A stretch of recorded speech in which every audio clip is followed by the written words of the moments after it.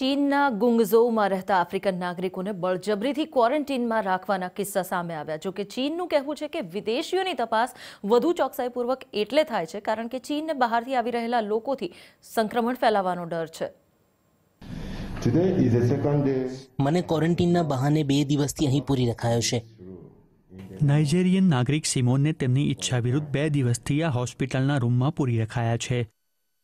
તેમને નામ બદલવાનું પણ કહેવાયું અને તેમને તેમના એપાર્ટમેન્ટમાંથી કાઢી મુકાયા. આફ્રિકન સમુદાય કોરોના વાયરસ ફેલાવતો હોવાના આરોપ લગાવીને ગુંગઝોઉમાં લગભગ તમામ આફ્રિકન લોકોને ક્વોરન્ટીનમાં ધકેલી દેવાયા છે. Some અહીં યુરોપિયન્સ અને અમેરિકન્સ પણ છે પણ તેમની સાથે કોઈ બળજબરી નથી કરવામાં આવી. ત્રણ વર્ષથી ગુંગઝોઉમાં રહેતા તેઓ કહે છે કે તેમનો કોરોના વાયરસનો ટેસ્ટ પણ નેગેટિવ આવ્યો છતાં તેમને ક્વોરન્ટીનમાં રખાયા છે. અહીં યુગાન્ડા અને અન્ય આફ્રિકન લોકો રહે છે. જો તમે શ્યામ વર્ણના હો તો તમને ક્વોરન્ટીનમાં ધકેલી દેવાય છે. બીબીસીએ આવા ડઝનબંધી લોકો સાથે વાત કરી. Look at the door they lock it from આ દરવાજો તેમણે બહારથી બંધ કર્યો છે જેથી હું બહાર ન જઈ શકું. Lock it from outside right now. I'm shaking the door. ગુંગઝોઉમાં હજારો આફ્રિકન રહે છે.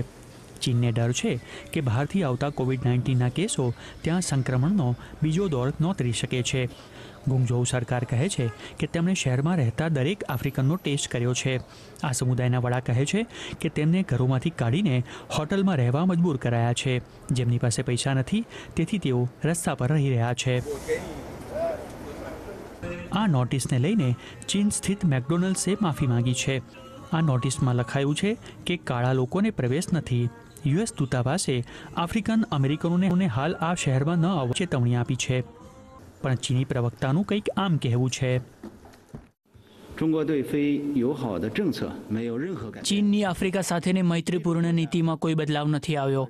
અમે આફ્રિકન ભાઈઓ સાથે ભેદભાવ નહીં કરીએ. એટલે સુધી કે મહામારીના શરૂઆતી સમયમાં હુબેઈ અને વુહાનમાં રહેતા ત્રણ હજાર આફ્રિકન વિદ્યાર્થીઓ સુરક્ષિત હતા. એક વિદ્યાર્થી સંક્રમિત હોવાથી તેને તાત્કાલિક સારવાર અપાઈ હતી.